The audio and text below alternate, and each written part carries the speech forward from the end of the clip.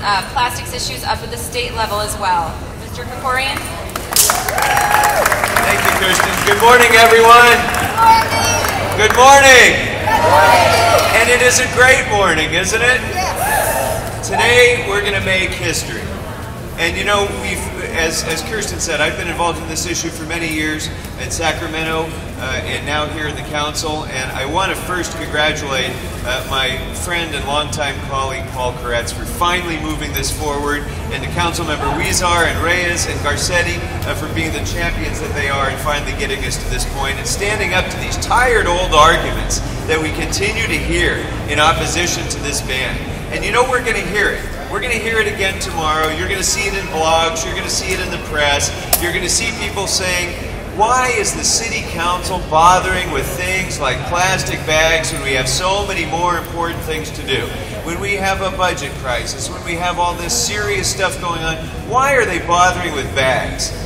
Well, let me tell you, if those people knew that the city of Los Angeles spends five or six or more million dollars a year, every year, cleaning up plastic bags instead of spending that money on parks and ambulances and on youth development and on police, they would say, this is the time to ban plastic bags. Sharon, come on over. Sharon, come on over.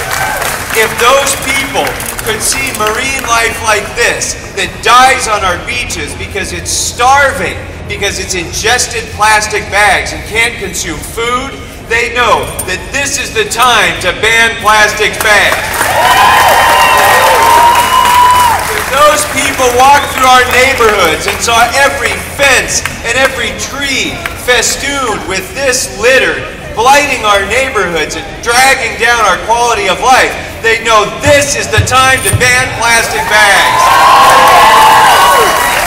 You know, throughout the history of this city, this city has been inextricably linked to the Pacific Ocean. The ocean has been part of our heart and soul.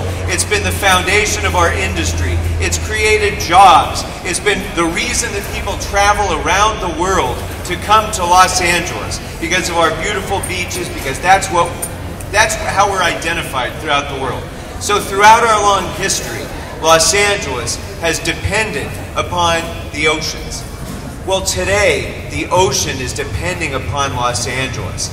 Today, the ocean that's, that's being choked with plastic contamination is depending on Los Angeles and depending on this city council to act today. And that's what we're going to do. I thank you all for being out here. I thank you for your continuing